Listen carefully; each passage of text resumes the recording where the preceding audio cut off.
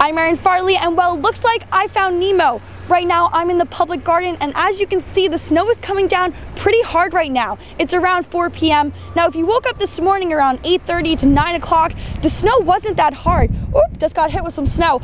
It's coming down pretty hard, as you can see. Now, as the night continues, the snow is gonna come down even harder. We're expecting about a foot of snow just today on Friday, but tomorrow we have a storm coming up from the south and a storm coming from the Midwest. So those two storms are going to collide tomorrow and that's when we're gonna get hit the hardest. Now surrounding states like New York, New Jersey, those areas, they're gonna get hit, but they're only gonna see about a foot of snow. Here in Boston, those two storms are gonna come right on top of Boston and that's when we're gonna get hit the hardest. We're expecting about two to three feet of snow. Now a fun fact for you, if we get about 18 inches of snow, this blizzard, Blizzard Nemo, will go down in one of the worst snow blizzards to hit Boston.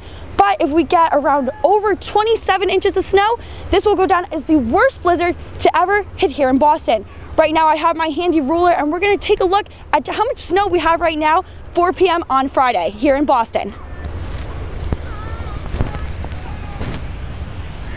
All right. So right now, right here in the public gardens, we're only looking at about a an inch of snow. Now we have to remember that we did just start the snowstorm around 10 a.m. The snow is coming down harder. Other parts of Boston right now, you're gonna see a lot more inches of snow. But like I said, as the night continues, we're gonna see even more snow. Make sure you stay off the roads. Reminder, MPTA.